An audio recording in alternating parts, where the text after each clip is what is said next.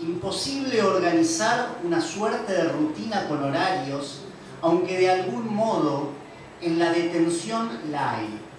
De acuerdo a lo que otros dictaminan o les conviene, el cuerpo es examinado, palpado, pinchado, visitado. El cuerpo paciente está a disposición del control, tendido en una cama. Duermo al lado de una bomba con una luz iridiscente que hace una pequeña y sutil música que jamás se detiene o apaga. Como una sirena policial vela mi sueño, mi bienestar.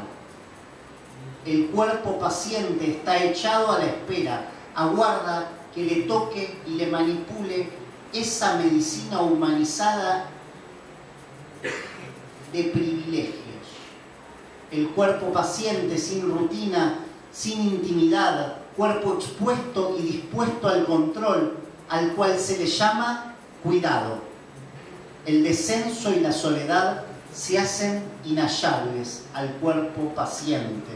El cuerpo paciente pierde así su sensualidad. En el cuerpo paciente se replican estas lógicas incluso por los no médicos o los así llamados profesionales de la salud. La gente comienza a dejar aguardando al cuerpo paciente por 40 minutos o más. Total, el cuerpo paciente carece de poder de decisión y no tiene a dónde ir. No hace falta llegar en horario a la cita con el cuerpo paciente porque Él solo está allí aguardando. Su factum es esperar en calma. El cuerpo paciente debe atender al teléfono, responder el mensaje, aceptar el llamado de, de, casi cualquier horario en que el cuerpo no paciente se haga el tiempo y el lugar para incoordinarlo. El cuerpo paciente no debe sentir ninguna desazón, por el contrario, el cuerpo paciente debe seguir sin sus horarios, expurgado de toda potencia vital, porque estar enfermo en una cama es aceptar a los demás resignadamente y agradecerles. El cuerpo paciente no tiene exterior, no está en una esquina, se puede operar sobre él. Detenido en su cama, quien visita soberanamente comienza a decidir por el cuerpo paciente. Los cómo y los cuándos, el cuerpo paciente debe y tiene la obligación de alegrarse se le comienza a infligir al cuerpo paciente la tiranía de los normales que se trasladan y tienen que hacer. ¿Qué hacer? El cuerpo paciente es el ama de casa de la dictadura de quienes producen normalidad y serenidad. El cuerpo paciente total no hace nada nada más que estar enfermo sanándose. Ergo, el cuerpo paciente tiene que aceptar de buen grado lo que se le da, cómo y cuándo. Agradecido y servil debe someterse a la caridad de los profílicos, perdón, de los profílicos, que deciden los horarios de la visita y la amistad sin consenso. El cuerpo paciente poco a poco se vuelve no cuerpo y es la coartada para los supuestos sanos no se sientan enfermos. Esto es una parte del libro Games of Thrones. quería invitar a Enrique a que nos comente algunas cuestiones.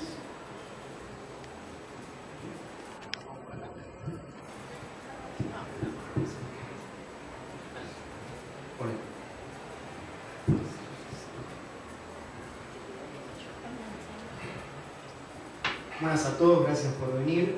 Eh, yo estoy acá por una, serie de razones. La primera es que eh, participo de esta condición llamada Crohn, digamos. Y le llamamos condición y no enfermedad por una serie de razones que ya ampliaremos, digamos. Eh, a mí me, diagnosticaron cuando tenía 16 años, hace 20 años que, que padezco esta condición o que hago algo con ella. Y un año más o menos me contacté con Leonor y me pasó la dirección del blog donde estaban las entradas de, este diario que ella fue escribiendo durante el 2014 en su internación de casi dos meses. Eh, como es una enfermedad o condición poco prevalente y poco conocida, tendría que ponerlos, ponerlos en autos de qué significa esto, digamos. Eh, es una enfermedad o condición que ataca cualquier parte del tracto digestivo. Una enfermedad inflamatoria crónica, le llaman los médicos.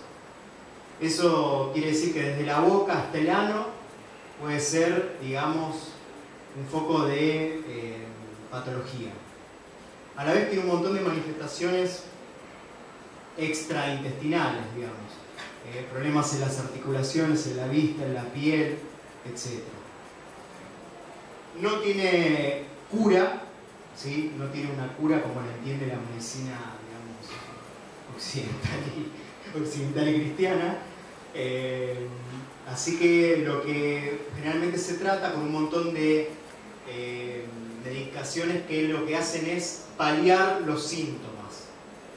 Es una condición crónica, según nuestras normativas sanitarias legales es una enfermedad discapacitante visceral, ¿sí? Este, eso, sepan, hay una minoría de personas que, lo, que la tienen. Lo importante de este libro para mí, que durante años estuve tratando de leer, digamos, yo me formé en filosofía básicamente por estar enfermo. me puse a leer porque necesitaba encontrar respuestas para lo que me pasaba.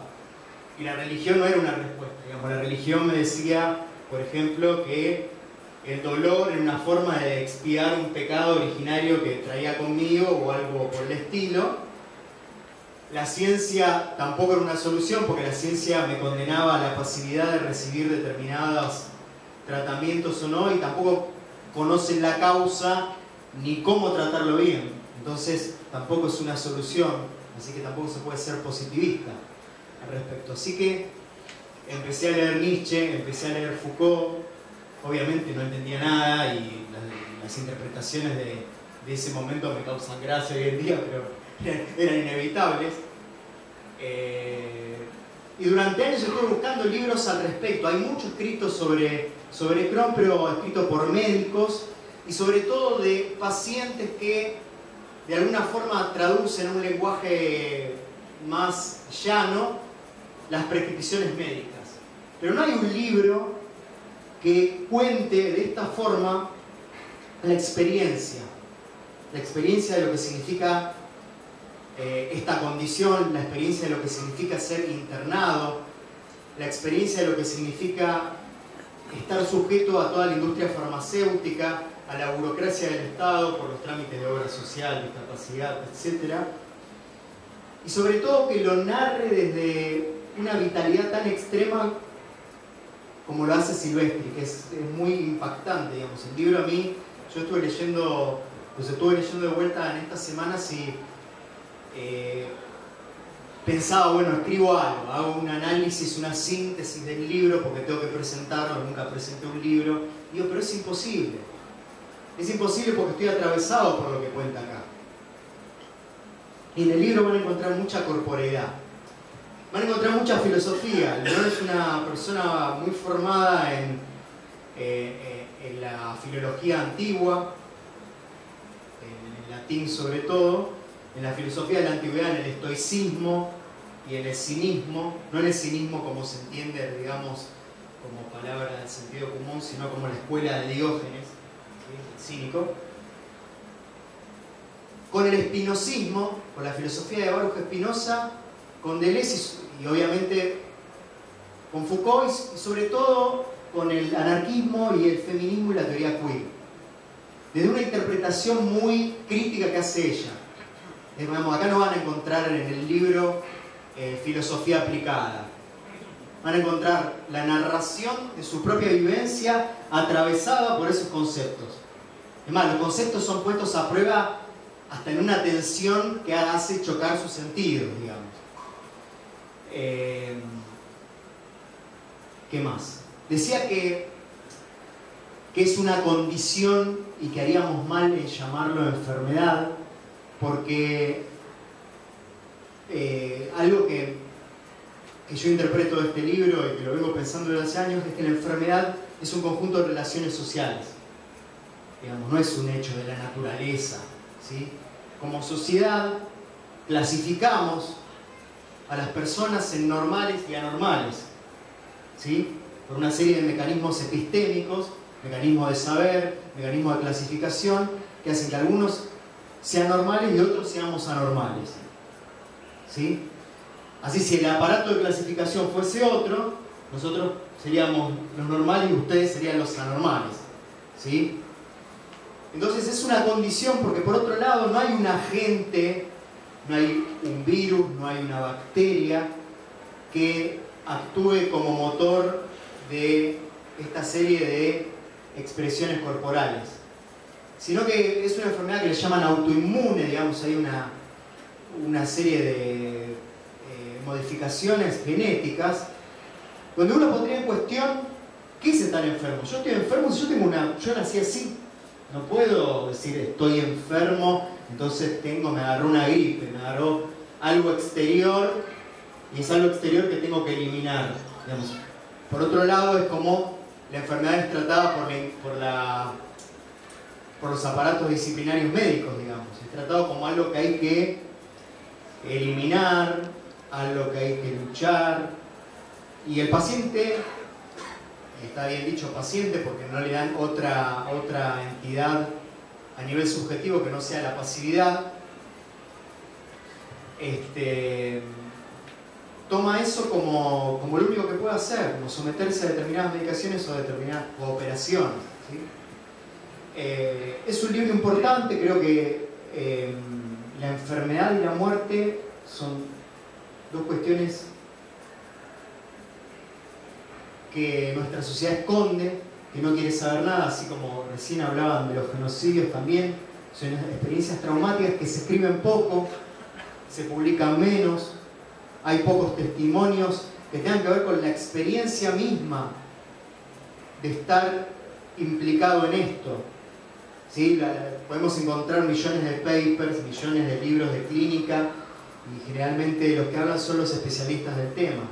Hay grupos de autoayuda, hay grupos de gente que tiene Crohn que son muy importantes, ¿sí? como uno diría alcohólicos anónimos o narcóticos anónimos, por más que tengan un paradigma moral para sacar a la gente de, esas situaciones, son importantes. Uno no puede decir, bueno, me cago en narcóticos anónimos, me cago en alcohólicos anónimos. Es importante que la gente pueda salir de ahí. Pero eh, siguen demasiado imbuidos en un eh, discurso victimista, en un discurso que reproduce los discursos médicos. No se genera un discurso propio a partir de eso. Eh, en ese sentido es muy bienvenido, digamos. Uno, yo creo que sirve este libro para cualquier persona que tiene un padecimiento físico, una condición considerada normal, porque permite pensar eh, conceptos de la filosofía de otro modo. Eh, bueno, mm, quiero ser breve, después seguimos con más cosas, pero gracias por venir y participar de esta presentación.